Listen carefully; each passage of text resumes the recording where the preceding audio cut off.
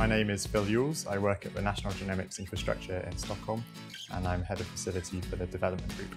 We're part of SciLifeLab or Science of Life Laboratories. That's a, a national platform for Sweden providing research and support for researchers in life sciences.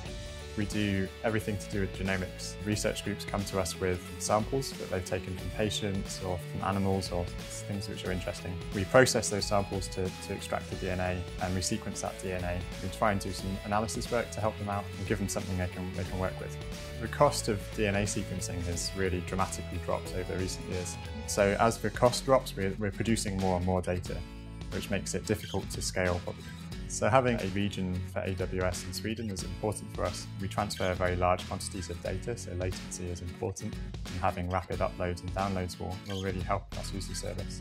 But best of all, the tools that AWS provides really enable us to do uh, cost-effective and, and easy to scale analysis.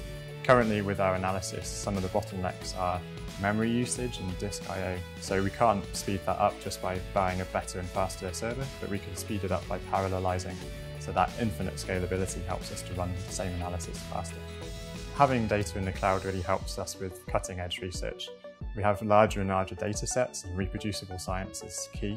So having it in the cloud enables us to share data for better reproducibility, for, for better comparisons, and makes it easier for researchers to continue their research there.